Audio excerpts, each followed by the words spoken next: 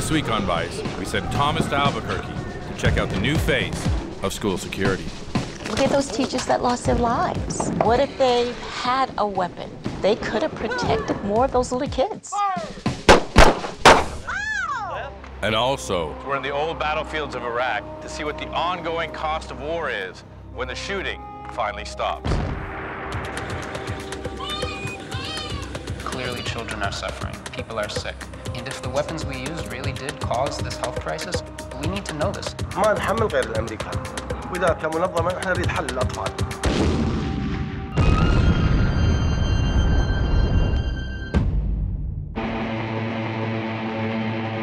the world is changing. Now, no one knows where it's going. But we'll be there uncovering the news, culture, and politics that expose the absurdity of the modern condition. That little child has a huge gun. This scene isn't uh, really kosher by American standards. I was interviewing suicide bombers and they were kids. This is the world through our eyes. We win a night. This is the world of Vice.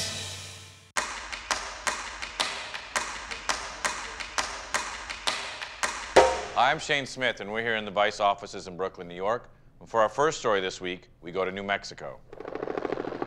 After the massacre in Newtown, Connecticut, the never ending battle over gun control in this country reached a fever pitch.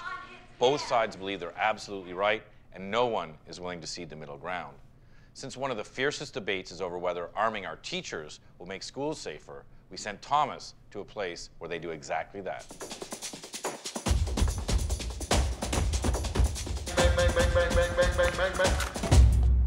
Live fire run, eyes and ears. Everybody ready?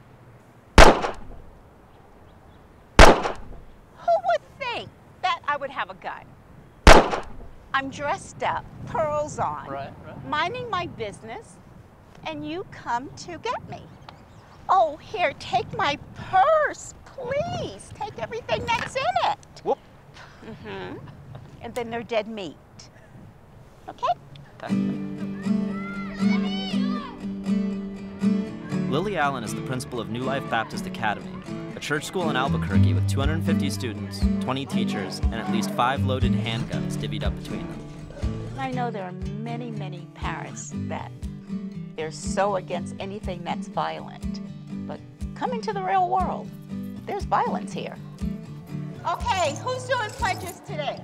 Come on, Eric. I pledge allegiance. Look at those teachers that lost their lives. What if they had a weapon? They could have protected themselves and more of those little kids. After Newtown, they realize now it can happen anywhere. But how are we going to prevent it? So that's why we're training our kids. So every student at uh, New Life, um, from kindergartners all the way up to seniors, do uh, active shooter training. It's basically like a drop and cover drill. Just instead of preparing for like you know a storm or nuclear war, they're getting ready for an armed maniac coming into their doors. Okay, guys, remember when you're under the pew, you cannot stick your head out to be nosy. Because that's called nosy Rosie. If you do, the bad guy will get you, and we don't want him to, correct? So I'm more concerned about my younger ones on that. Bad guy's coming.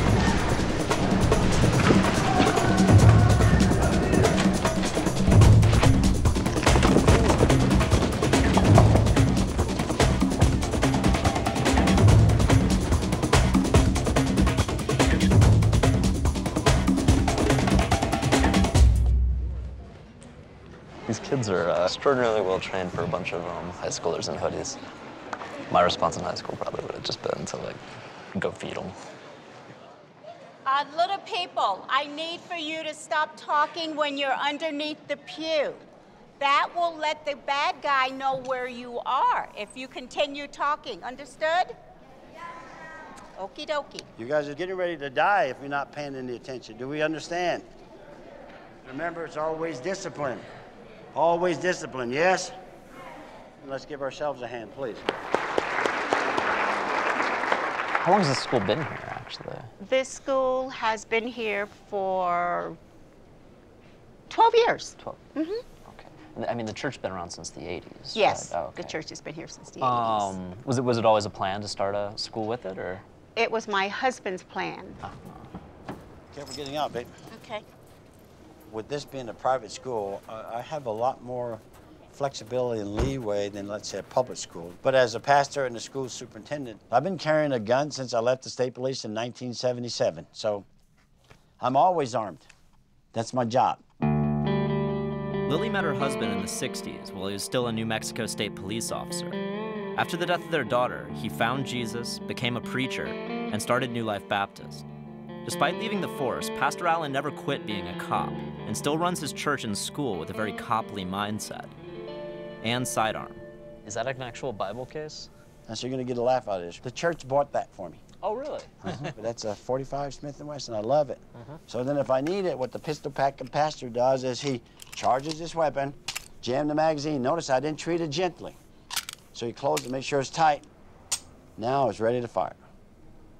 It's hot.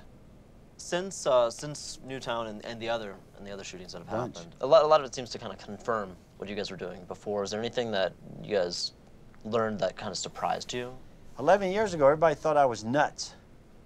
And this isn't to be bragging, and now everybody's saying, wow, that guy was a visionary. No, you can see evil coming. I'm not carrying guns, uh, doing security and all just to be a tough guy. The reason why we're armed is you see what's happening out there. I'm not paranoid, I'm ready.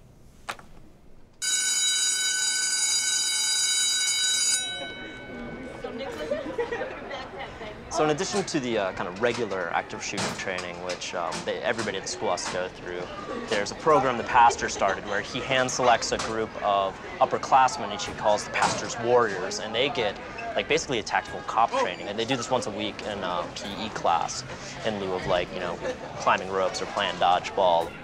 Remember now, these are not toys. We're not playing, we're actually practicing, yes? Okay, so let me have three lines facing this way, please, quickly. Is a student who doesn't do the training allowed to be here as a student? The students have to go through the training. That'd be like a student saying they don't want to do a fire drill. You have to do fire drills or you burn.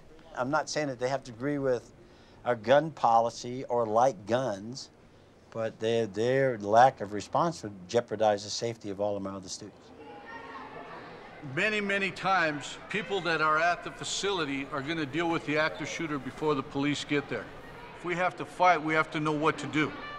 See, there's a bunch of stuff I can do here. I have him here, Boom, right in the forehead, right on top of his foot, broke it. Ah! Good. An active shooter will keep killing people until they're out of ammunition. But we're not going to sit there and let them just murder us. See this finger? Bend it, twist it, bite it, whatever. Keep it off this trigger. Do not quit. Might seem a little bit extreme for teenagers to be doing that, but um, at the same time, like, like what good did laps or push-ups ever do me? You can Yeah. eye gouge him, you can bite his ear. Does it make you nervous doing this kind of stuff? Like, do you, do you like feel like you think a little bit more about like gun violence? At first I was nervous. I, I didn't want to be one, but then since I learned, it makes you feel safer, like knowing what to do if you're in a situation like that. Imagine a whole classroom that could have attacked this boy, and many would not have been killed. Because if you have a group of kids that are going to attack, you can't kill them all at one time. Bang, bang, bang, bang, bang, bang, bang, bang, bang, bang. Okay, good. Look, this is America, and this is a private school, and people can do whatever they're going to do in a private school. But what I see the pastor doing is creating a false sense of security. Randi Weingarten heads the American Federation of Teachers, the second largest teachers union in America. They're training kids to actually be vigilantes. Jamming his eye out. At the end of the day, you cannot substitute for the years of training that armed police officers get. They just can't substitute for that. There you go. Let's give you guys a hand.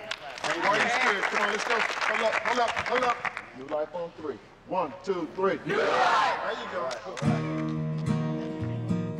While the efficacy of the pastor's warriors training may be questionable, the kids' swarm and yank strategy is more of a failsafe The school's first line of defense is its armed security and equally armed faculty. So these are the teachers. This is the faculty wall. Um, which of these fine people is armed? There's about four of them on there that's armed. But if I tell you, then everyone's going to know who they are. Uh, and they And we don't want anyone to know. do they have a background uh, that involves firearms? Or? They have quite a bit of training. Mhm. And a number of them come from their maybe policemen wives or they've been in law enforcement themselves. Parents can play guesswork and we don't mind because they'll never know which teacher has it. Okay. But I will always carry my gun with me. And that's for the protection of their child because they're worth it. We're at a shooting range outside Albuquerque. Um, pastor and his security team taking us up here to uh, do a few training drills. Uh, we're all gonna go through the ropes and uh, put some rounds in some paper bad guys.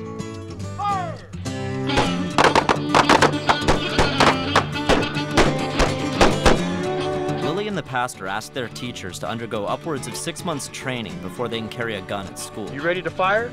Yes. Pull the trigger straight back to the rear.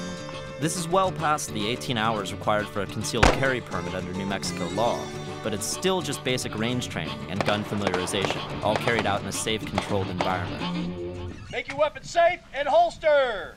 Which, it goes without saying, is a very far cry from the lawless, panic charged environment of an active school shooting.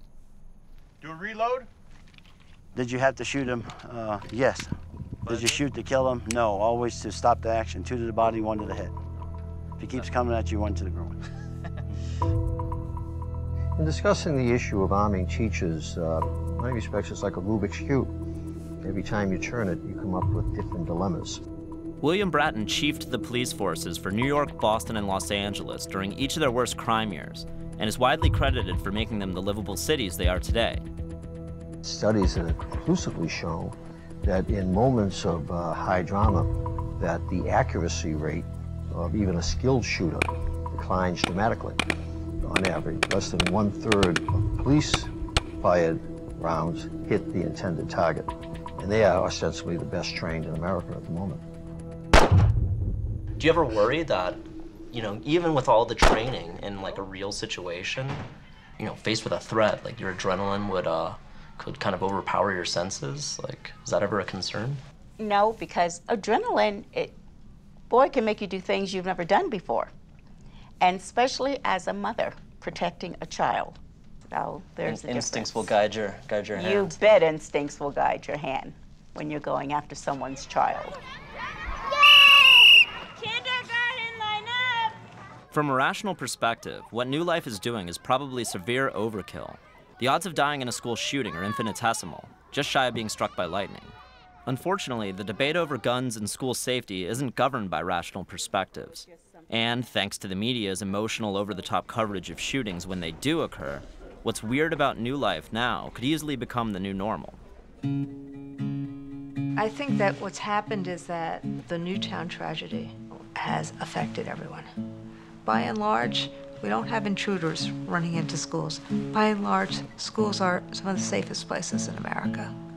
Teachers have said they don't want schools to be like that. They don't want to have a situation where all of a sudden teachers are wearing pistols on their hips. Being quite frank with you, I think it's a waste of time. I'd much rather my kids being trained on uh, reading, writing, and arithmetic. Parents that want their kids to be miniature Rambos, good luck to them. Send them to that school. If a person steps in here now and starts shooting, if one of us don't tackle him, we're all going to die. Hey, hey, hey, hey, hey. Hey, let go. I'm gonna hurt you. I'm gonna kill you. Let me go. What we try to tell our kids is, okay, if you're going to die, you may as well die fighting. Violence isn't going away. And I know a number of people will disagree with us, but that's something we're going to do regardless if we're criticized or not. We will protect their children.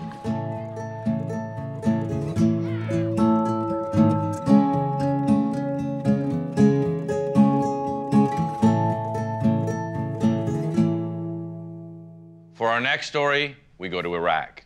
Now, in the run up to the Iraq War, it became seen as almost un American to even question why we were going to invade them.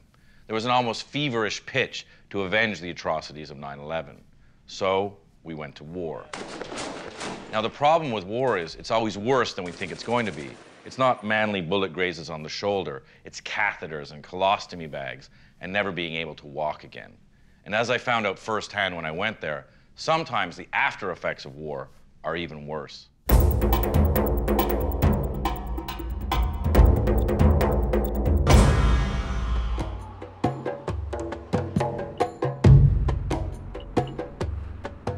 Now, this is what most people imagine when they think of the end of a war.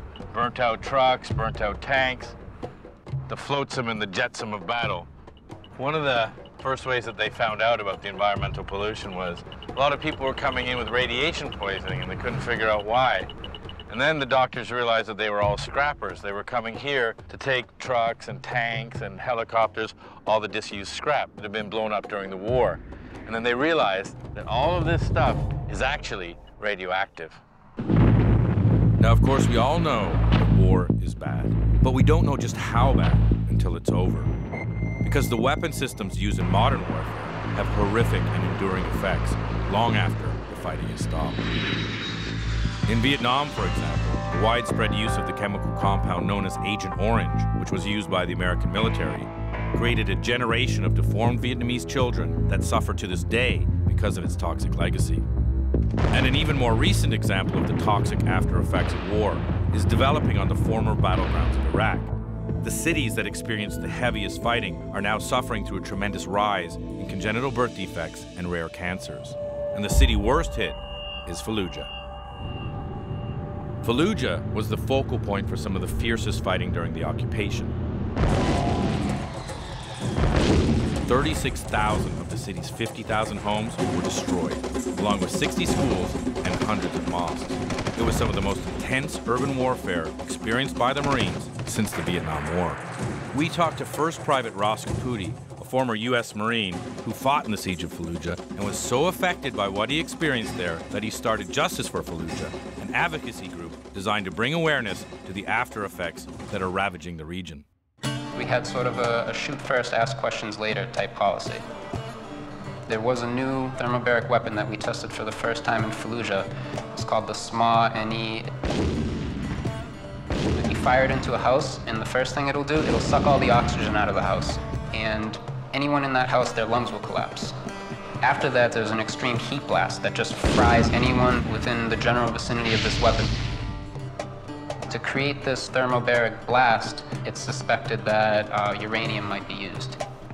We tried to talk to the U.S. Department of Defense about this issue, but they refused our request for an interview and declined to provide us with a written statement about the use of uranium munitions in Fallujah. However, in documents obtained via the Freedom of Information Act by the International Coalition to Ban Uranium Weapons, the DoD claims they simply did not record the use of uranium munitions before July 2004. So, without much information from the US military, it's been left to independent scientists and researchers to figure out what effects these weapons have had. When you drop these bombs in an environment, what happens is that once that explosion occurs, fine particles that contain metals get spread all over the environment. It will enter the soil, it will enter the water, it gets taken up by plants. People who are in an area that's being bombed, gets right into their system, and then slowly it exposes them from inside. These damages can be much more severe in a child or in a fetus because they don't have the detoxifying mechanisms that an adult body normally has. As early as 2005, there were reports of birth defects in various cities of Iraq. There was a 50% increase in the families that we studied in Fallujah. That's a huge, enormous jump. My best guess is that the source would have to be from military. There is no other source that I can attribute metal contamination to in these levels. So we traveled to Iraq to visit Fallujah General Hospital and meet the doctors who are dealing with these toxic effects every day. Fallujah General is the largest and most important hospital in the city and has been struggling to keep pace with the rise in cancers and rare birth defects amongst the local population. There's two outspoken doctors here who are talking about the birth defects and the health problems that have been caused by uh, the war that happened here. So we're going to go in and talk to them, see what they have to tell us. Maybe you could explain what you see here day to day in the hospital. على زيادة عدد الإصابات سواء في التشوهات الخلقية أو في الأمراض السرطانية لدى سكنة مدينة الفلوجة ونحن نعتقد بأن هناك تأثير مباشر هذه الحرب هذا البحث أخذ نماذج من 25 طفل أخذت نماذج من الشعر وأرسلت إلى مختبر في ألمانيا فكانت النتيجة بأنه وجود مادة اليورانيوم والزئبق والبزموث If you have a, a problem of that magnitude, you have a whole generation that's being affected after the war is over. How do you solve it? إذا كانت هناك هذه المسببات من قبل القوات الأمريكية عوائل هؤلاء الضحايا أنا أعتقد يحتاجون إلى مد يد العون لأنه كثير من العوائل يعني شراء الدواء According to a 2010 study conducted at Fallujah General, one in every 20 babies born in the hospital had some sort of birth defect. Now that's 12 times more than the rate in neighboring Kuwait.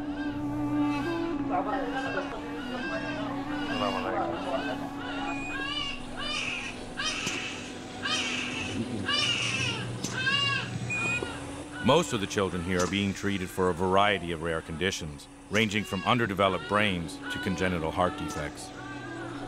So they have PSD, ASD, ASD, VSD, VSD. He's dying. Each one of these forms of congenital heart defects has its own problems for treatment, but the common thread is that they're either deadly or untreatable in Iraq. We can't save the, the uh, The baby. You can't save the baby, and this this baby's dying. dying when he comes on the first day. Yeah. And they have a lot of cases of these. In one week we can collect three, four, sometimes five, uh, just in uh, Fallujah General Hospital. And behind every door, there seemed to be yet another heartbreaking story. And so, what does this baby have? This baby have a small PDA. PDA, patent ductus arteriosus. Mm-hmm. He's a handicap, but he's alive. Right. You can't fix it by surgery. And can the baby survive surgery? Maybe yes, maybe not. Can you do it here? Absolutely No, not. no. The, the family know that maybe did. And after seeing the suffering of all these children, our first question was Is America really responsible for this? So we talked to an award winning journalist who's been covering the region for the last 30 years. One of the major problems with dealing with a story of this kind, a report, an investigation, is that you can never ultimately prove 101% that it was a particular piece of munitions, American munitions, that caused birth defects, um, an explosion of cancers in the case of depleted uranium in other parts of Iraq. Because, you know, when a corpse is um, uh, opened, you don't find a little label saying, you know, this chemical came from the United States. But you can prove that there is an X percent possibility, perhaps 90%, that it obviously locks into munitions used by, for example, the Americans. And when you talk to the families that are affected by this epidemic, they've actually evolved from who is to blame and are now asking, how do we fix this? مشكلة مصطفى جاء قبل الموعد هذا وصار عنده تلف بخلايا الدماغ. نقص أكسجين. So Mustafa has brain atrophy. Um, and is it thought that it's caused because of the fighting, because of the war? نعم لأن ما كان عندنا قبل هيك حالات إحنا. واثنين ثلاثة لحد الآن بدت هاي الحالات. سببهم أو كانوا هم السبب الرئيسي أو غير يعني غير مباشر. بس إحنا يعني نريد علاج. يعني إذا هم عندهم أطفال يقبلون أطفالهم يصيرون بهيك حالة. Hello, how are you? والله يعني بتاريخ 2008 يعني آه، جانا مولود هذا الطفل عبد الله فوديناه يعني بنفس اليوم الدكتور أطفال. فقال لنا هذا عنده فتحة ولاديه بظهره يعني فتحة ولاديه بظهره. فقلت له شنو الحل؟ قال والله الحل إنه لازم نسوي عملية راسا وطبعا ورا العملية يعني صار يعني ما ادري قدرا يعني أو سوء تدبير ال- المستشفى انه صار عنده شلل تام يعني ما نحمل غير الامريكان والله أنا ما اريد احكي بالسياسة واذا كمنظمه إحنا نريد حل لاطفالنا While the Department of Defense refused to comment on the situation, we were able to contact a senior congressman who has been publicly vocal on this subject and was willing to talk to us. I'm very suspicious that depleted uranium is creating a health hazard for not only American soldiers who are exposed to it, but also to the Iraqi people. And my view is that people don't want to look because if you find something, then you have to do something about it. In 2005, the congressman introduced the Depleted Uranium Study Amendment, a law designed to force the government to investigate. I got the amendment passed. It required that there be a report in a year. The report came out and it's two pages, and it says we couldn't find anything. I mean, that's that. I was frustrated by their conclusions. They didn't seriously go out and gather data before they wrote the report. I don't think they've done an adequate job. If you're looking for something, you've got to look where it is. The military is not very interested because they don't want to lose the weapon quality of depleted uranium. And to find out that it's bad for people is not something they want to discover. I take a different view, I think, of as the United States. When we affect something in the world, we have a responsibility for what we've done. I was a physician in the Vietnam War, and I watched the military resist, resist, resist, looking into Agent Orange. And so this is like deja vu all over again. I've seen this before, where the military doesn't want to admit that there is a problem. The long-term effects of war are the things that people never want to talk about. That's the really tough part. And this problem is even tougher if A, we continue to refuse a comprehensive study of these health problems, and B, deny responsibility if indeed it's proven that we did cause them. There's clearly a problem in Fallujah. Clearly children are suffering, people are sick. I mean, we owe it to these people to figure out what is afflicting them. And if the weapons we used really did cause this health crisis, we need to know this so that this never happens again.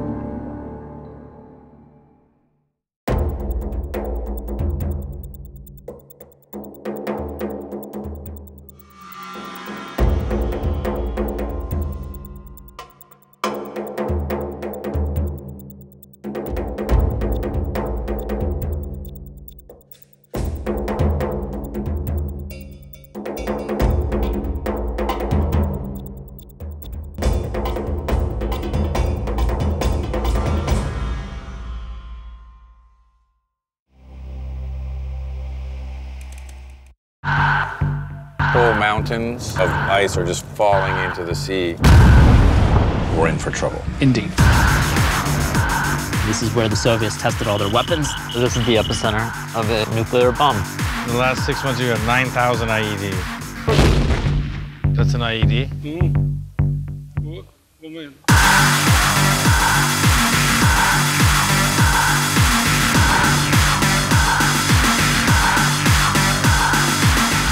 Once you get someone in, they can never leave. Even police helicopters don't dare fly over here because two years ago one was shot down by an anti-aircraft gun. Fun place to live.